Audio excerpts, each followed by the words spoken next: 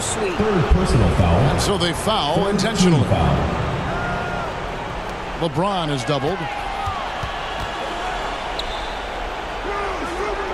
Irving with the ball. And we're going to have a jump.